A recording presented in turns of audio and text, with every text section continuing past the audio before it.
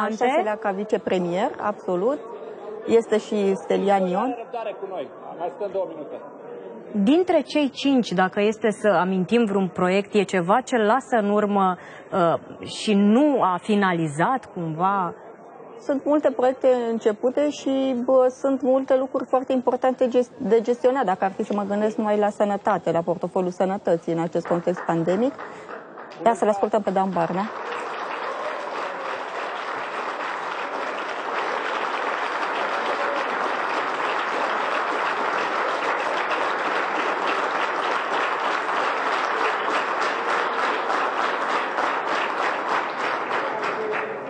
Bună ziua România, pentru că, din păcate, acest moment este un moment pe care îl privește întreaga România. Încă de la înființarea USR și apoi USR Plus a spus românilor privindu-i în ochi că vom fi un partid altfel. Și am fost într-adevăr un partid altfel. Ne-am luptat cu hachițele unui sistem croit și gândit pentru risipă, pentru furt, pentru corupție și pentru proastă guvernare explicită. Și lucrul acesta s-a văzut și din păcate se vede și în aceste zile.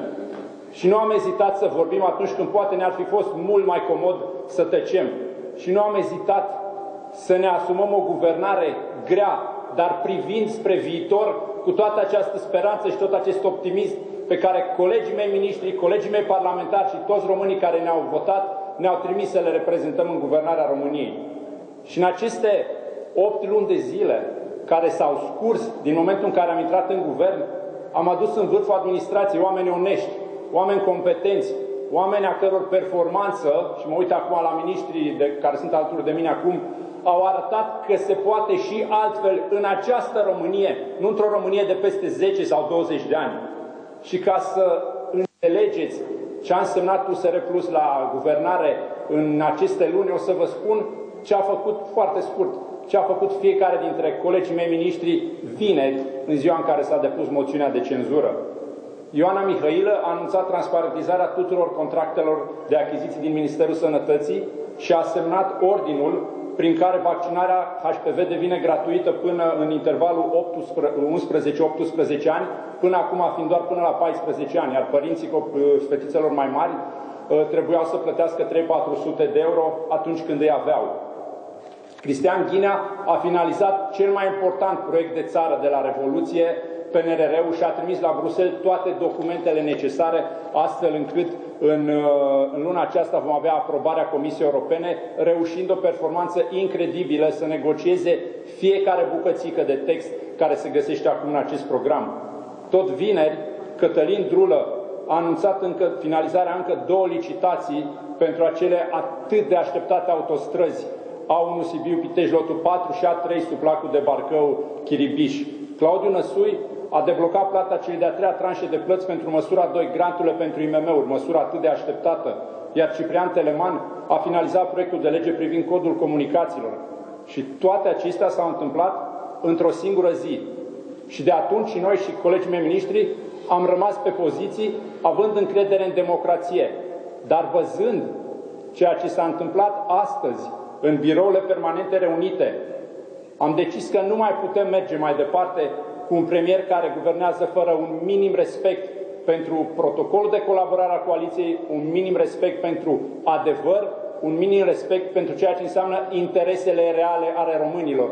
Este legitimă lupta internă politică într-un partid, dar atunci când ea este folosită pentru a risipi resursele națiunii și a aloca zeci de miliarde pe promisiuni către primari într-un interes electoral propriu este un lucru pe care l-am spus și înainte și l-am spus și în discuțiile din momentul acestei crize că nu putem să mergem mai departe. Nu se mai poate așa și nici nu se va putea mai departe așa cu SR+, pentru că aceasta este diferența pe care vrem să o aducem în politica din România. Florin Câțu a, din, a dinamitat conștient și perfect responsabil această coaliție cu bună știință și cinism. Florin Câțu nu mai poate să fie premier și din acest motiv ministrii USR Plus se retrag din cabinetul Florin Câțu. Este o decizie pe care am luat-o împreună cu toți colegii din USR Plus, este o decizie susținută de Biroul Național și în acest context ne prezentăm demisiile, le aveți aici și pe a mea și pe a celorlalți colegi miniștri, le au fiecare în mână. Mâine dimineață, la prima oră, premierul va avea demisiile noastre pe birou, astfel încât să deblocăm această criză, care astăzi în birou permanent a devenit una ridicolă. Nu s-a întâmplat niciodată în 30 de ani și mă îndoiesc că s-a întâmplat în vreo țară pretins democratică din lume ca oameni cu care au semnat moțiunea, oamenilor care au semnat o moțiune de cenzură să li se spună, fiind priviți în ochi, nu este semnătura dumneavoastră. Avem îndoieli serioase că semnătura pe care o aveți vă reprezintă. Este un abuz grotesc care aruncă România în beciurile democrației, pseudodemocrației, de fapt. Ori ceea ce s-a întâmplat astăzi ne arată că oricâte hachițe și oricâte invenții sunt necesare pentru a fi îngropată moțiunea de cenzură depusă, trebuie să folosim și planul B, pentru că moțiunea era planul A. Planul B era această demisie a noastră pe care astăzi o anunțăm și o prezentăm, demisie prin care se deschide și procedura de prezentare și devenire a Guvernului în, în Parlament pentru o, nouă, pentru o nouă investitură și spunem asta foarte simplu. Sunt două variante. Fie PNL acceptă că USR Plus este un partener serios și responsabil pentru dezvoltare și atunci putem în câteva zile cu un nou premier să mergem mai departe și să facem acele reforme despre care prea mult am vorbit și prea puțin am făcut, fie PNL decide să funcționeze pe mecanismul USL. Am văzut astăzi că Florin Câțu a tras în echipa câștigătoare pe Marcel Ciolacu și am avut un suport Câțu Ciolacu foarte performant astăzi în birou permanent. PSD-ul este alături acolo în echipa câștigătoare.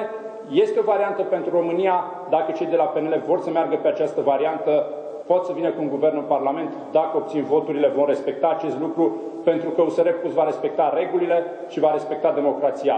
Este o decizie grea.